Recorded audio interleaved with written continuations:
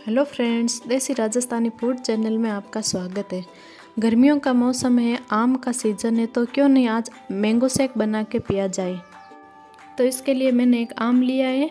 ये दो जनों के लिए काफ़ी होता है। इसको अच्छे से धो के इसके छिलके उतार लेंगे।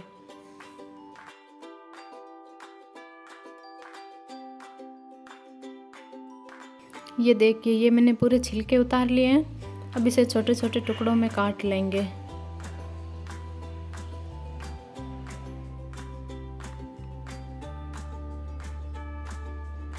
ये सारे आम को काट लिया है।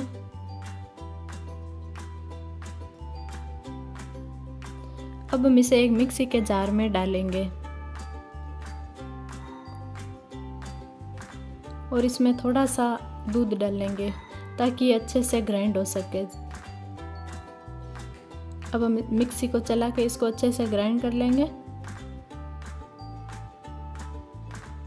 अब हम इसको खोल के देखेंगे।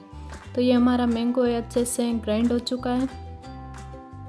अब हम इसमें एक गिलास दूध लेंगे और स्वाद के अनुसार चीनी डाल लेंगे। और चार पाँच आइस क्यूब डाल लेंगे और इसे बंद करके अच्छे से ग्राइंड कर लेंगे।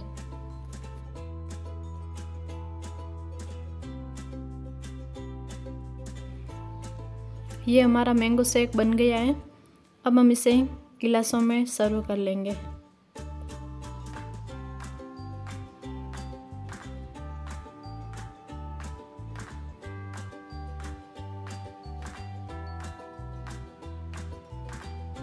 अब हम इसके ऊपर थोड़ी सी पिस्ता डाल लेंगे और थोड़े से कटे हुए बादाम के पीसेस डाल लेंगे। ये देखिए दोस्तों, ये कितने अच्छा लग रहा है।